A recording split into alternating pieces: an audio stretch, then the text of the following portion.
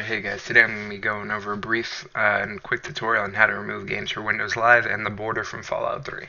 Alright, so first things first, you want to head to your Steam library, locate Fallout 3, right click here, hit Properties, Local Files, and you're going to want to verify the integrity of the game cache. This will basically replace all the missing files that you have for Fallout 3.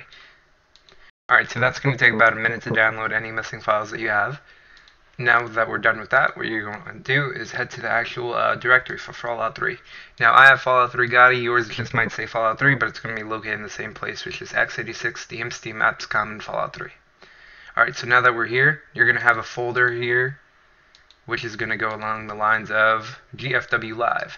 Basically, what this is is uh, containing all the files of games for Windows Live and possibly your DLC, depending on how your format is from Steam. So, since I have GOTY, it was actually located in here, all of my uh, DLC stuff. So, what you're going to want to do is move over all these assets. These are all the DLC assets from Windows Live, which is going to be located in here, into data. Just throw it right in there. Alright, so now that we have that done, you're going to go ahead and right click on it, and delete GFW Live from your Fallout 3 directory. That basically deletes all the other remaining assets from games for Windows live. Alright, so now that we're done with that, you're going to want to boot up the game. Alright, here we go. Alright, so what you want to do from here is options, uh, aspect ratio and resolution must match your screen, mode, windowed off, vertical sync on, hit OK, boot up the game. Alright, so as you can see already that the game booted up in about less than 3 seconds. Um, this is due to the fact that Windows Live is now disabled. It does not have to go through the EXEs and initialization processes of GFW Live. Alright, but as you can see, we still do have this uh, border on our game. I'm going to show you how to remove this once we get in the game.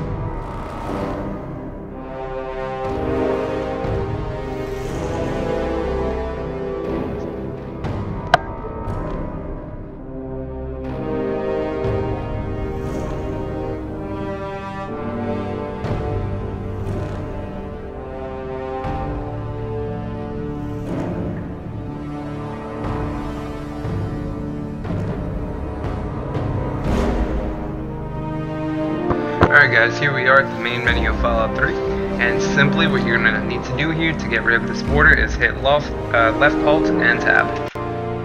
There you go. It should automatically bring up the game for itself again. Alright, here we are at full resolution, correct aspect ratio, and we are windowless. So now we have the game at um, true full screen, and uh, Games for Windows Live is completely disabled. Alright guys, well that concludes this quick and brief tutorial on how to remove uh, Games Windows Live from Fallout 3 and get rid of the border. Uh, leave a like and subscribe and thank you for watching.